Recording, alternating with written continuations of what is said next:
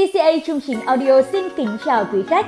Nhân dịp đầu xuân năm mới, Trung Chính Audio xin kính chúc quý khách hàng, quý đối tác, công ty, bạn bè và những người thân một năm mới an khang, thịnh vượng, như ý phát tài, phát lộc, gia đình gắn kết, sum họp đoàn viên. TCA Trung Chính Audio hiện là đơn vị hàng đầu tại Việt Nam về cung cấp các thiết bị và giải pháp âm thanh hội thảo, âm thanh thông báo, âm thanh hội trường, giải pháp họp trực tuyến và âm thanh karaoke gia đình.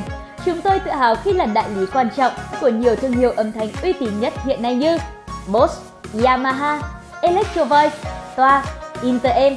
Chương trình audio chân thành cảm ơn quý khách hàng, đối tác vì đã luôn tin tưởng và đồng hành cùng chúng tôi trong suốt thời gian qua.